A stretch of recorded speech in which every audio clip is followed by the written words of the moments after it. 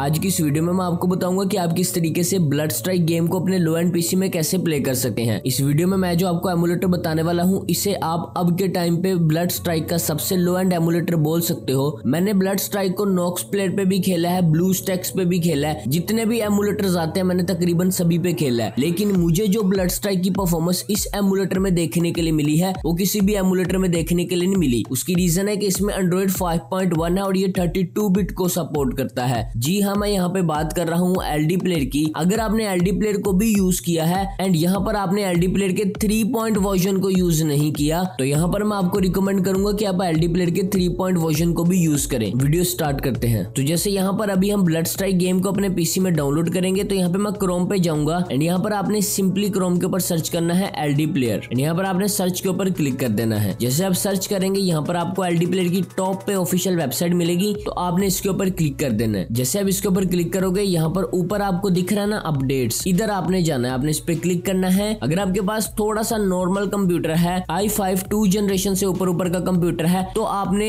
4.0 की कैटेगरी में जाना है। एंड्रॉइड 5.0 की कैटेगरी थोड़ी सी हैवी में आ जाती है। तो यहाँ पे अगर आपके पास एक लो एंड सा कंप्यूटर है तो मैं रिकमेंड करूँगा थ्री पॉइंट में जाओ। इसमें वीटी के प्रॉब्लम को भी फिक्स करा गया है। तो यहाँ पर देख सकते हो, जो सबसे टॉप पे अपडेट हो, उसी को आपने डाउनलोड करना है। तो यहाँ पर सिंपल आप डाउनलोड वाले बटन पे क्लिक करेंगे एंड यहाँ पर आपको एक पॉपअप आएगा तो इधर से आपने इसको डाउनलोड कर लेना है। आफ्टर डाउनलोडिंग आपकी जो ई फ़ाइल यहाँ पे एल की बनेगी तो यहाँ पे सिंपली आपने उस ई फ़ाइल को लॉन्च करना है। ई फ़ाइल लॉन्च हो जाने के बाद आपको सिंपली कस्टमाइज पे क्लिक करना है एंड यहाँ पे डायरेक्टरी सिलेक्ट करनी, कहाँ पे इंस्टॉल करना चाहते हो। तो मैं बाय डिफ़ॉल्ट इधर इंस्टॉल करूँगा एंड सिंपली इंस्टॉल वाले बटन पे क्लिक कर दूँगा।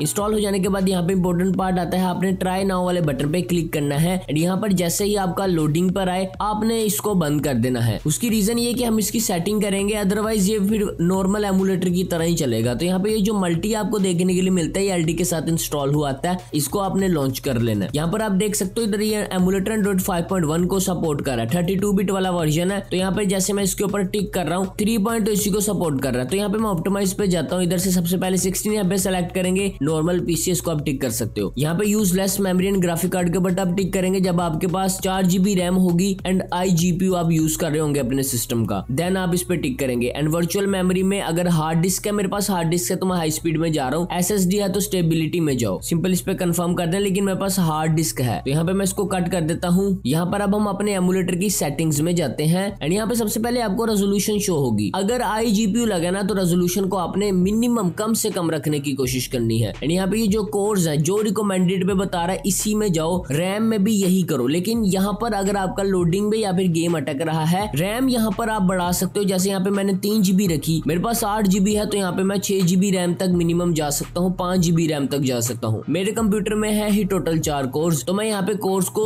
दो के ऊपर कर सकता हूँ। यहाँ पे ये जो मॉडल्स नंबर है, ये मोस्ट इंपोर्टेंट है। आपने यहाँ पे कॉमन में जाना है यहाँ पे सबसे नीचे जाना है। एंड इधर आपको एक असोस टू की डिवाइस मिलेगी। तो यहाँ से आपने इसी को सेलेक्ट करना है। इधर से आपको गेम सेटिंग्स में जाना है एंड यहाँ पे इधर 16 एफबीएस को आप सेलेक्ट कर सकते हो। एंड यहाँ पे ये जो सपोर्ट एक्स टेक्सचर है ना, अगर आपका अलग से ग्राफिक कार्ड लगा तो इसको टिक आपने ज़रूर से करना है। जितना मर्ज़ी लो एंड लगा है, अलग से लगा है तो आपने इसको ज़रूर से टिक करना है। एंड यहाँ पर आपने अदर वाली सेटिंग्स के ऊपर क्लिक करना है। इधर से आपको रूट परमिशन मिलेगी तो सिक्योरिटी पर्पज के लिए आप इसको बंद कर दें एंड यहाँ पर इसको सेव कर दें। सेव कर देने के बाद हमारी सारी सेटिंग्स हो चुकी है कंप्लीट अब हमें क्या करना है? अपने एलडी प्लेयर को लॉन्च करना है। तो सिंपल जाए यहाँ पे सेटिंग्स में, यानी यहाँ पे एप्स वाले सेक्शंस में जाए। थोड़ा सा साइड की तरफ़ स्वाइप करना है। इधर से आपको ऑल एप्स में जाना है। यहाँ पर गूगल प्ले स्टोर को बस आपको बंद कर देना है। ये आपके सिस्टम में हाई सीपी यूसेज क्रिएट करता है। बस इसको आप इस तरीके से डिसेबल कर दे। गूगल प्ले स्टोर बंद कर देने के बाद अब हम इसमें ब्लड स्ट्राइक गेम डाउनलोड करेंगे। तो यहाँ पर हम यहाँ पे चलते हैं अपने ब्राउज़र के अंदर। यहाँ पर ऊपर सर्च बार में आपको जाना है। सिंपल यहाँ पे मुझे फॉलो करें।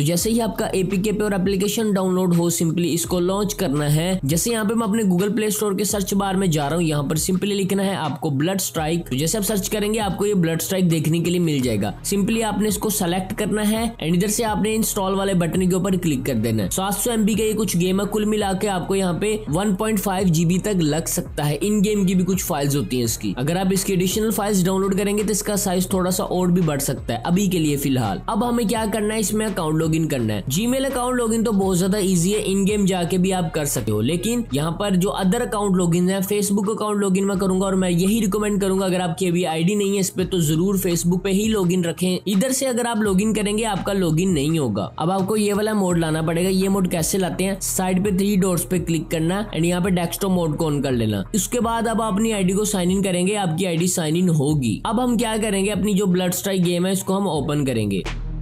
तो यहाँ पर आपको ये कुछ इस तरीके का पॉपअप आएगा। अगर आपका ना चले या फिर लैक प्रॉब्लम आए तो आप एग्जैक्ट जो मैंने वर्जन डाउनलोड किया था, वो भी डाउनलोड कर सकते हैं।